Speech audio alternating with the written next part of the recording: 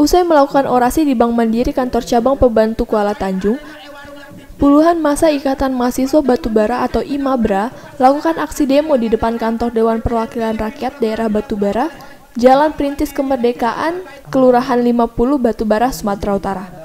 Masa Imabra meminta Bupati dan DPRD segera usut penyelewengan penyaluran bansos untuk warga miskin.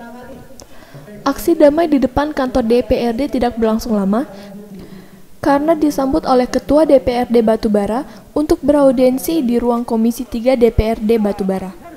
Menurut Bupati Batubara Zahir, siapa saja yang terlibat masalah bantuan pangan non-tunai atau BPNT harus diselesaikan secara hukum, karena ini menyangkut hak orang miskin, termaksud iwarung siluman yang harus dihentikan.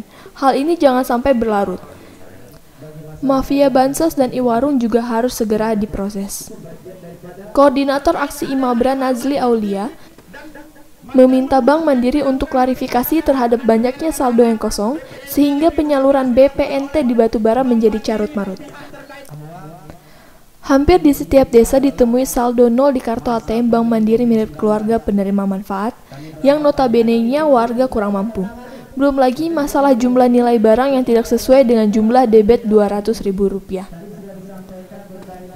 Ketua Komisi 3 Batubara Ahmad Muktas, Komisi 3 segera menggelar rapat dengan pendapat RDP yang akan melibatkan Dinas Sosial, PKH, TKSK, Bank Mandiri, juga mahasiswa. Carut marut terkait bantuan sembako BPNT yang ada di Batubara harus diselesaikan, termasuk keberadaan e-warung yang harus sesuai dengan pedoman umum Kementerian Sosial. Imabra juga sangat mengharapkan eksekutif dan legislatif harus serius membasmi para mafia bansos yang mengambil keuntungan di tengah penderitaan warga miskin di Batubara. Tadi saya kebetulan habis paripurna masih di kantor DPRD, ada RDP dengan masyarakat, saya minta izin melalui ketua, saya mau ikut dengar Nah ternyata persoalan mereka itu memang persoalan sedang kita pikirkan terhadap masalah penyaluran PKH dan PPNT, uh, PPNT, PPNT, PPNT. PPNT. Memang banyak masalah, banyak mafia-mafia yang beredar di sana. Mafia-mafia beredar mencari keuntungan dari kondisi-kondisi yang ada. Nah permasalahan itu sama bahwa banyak ditemukan hal-hal yang merugikan masyarakat, merugikan masyarakat miskin, merugikan masyarakat batubara. Ya, tapi ini ada oknum-oknum yang bermain, yang ini harus dituntas secara hukum maupun secara uh, adat, ya, hukum dan adat bisa Meminta verifikasi dari Bank Mandiri terkait adanya carut marut penyaluran BPNT di Kabupaten Batubara ini. Baiknya terdapat saldo-saldo nol dan malfunction di kartu keluarga penerima manfaat di Batubara ini. Hampir di setiap desa kami temui, kami jumpain uh, sekitar 2000 yang saat ini dari bulan 8 sampai sekarang dia tidak tersalurkan di kartu penerima manfaat.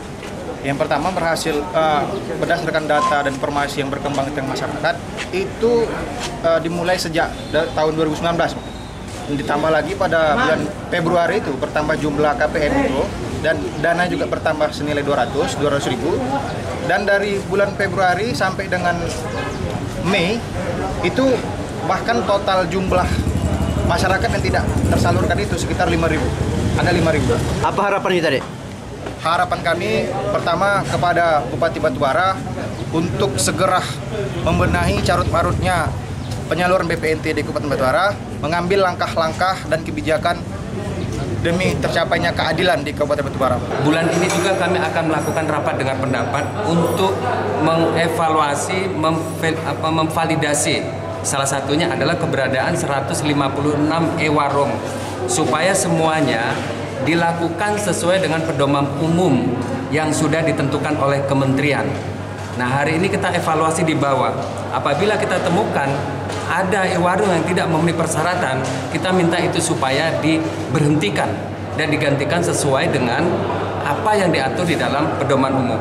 Untuk itu di atas tanggal 22 ataupun tanggal 23 kami akan melakukan rapat dengan pendapat ya dengan e, Bank Mandiri, kemudian dengan Dinas Sosial, baik kabit-kabitnya, baik PKH ataupun program sembako, dan kemudian TKSK. Seharusnya kita tidak lakukan ya, semacam ada di Dari Batubara, Sumatera Utara, Soleh Pelka, Tribrata TV, salam Tribata.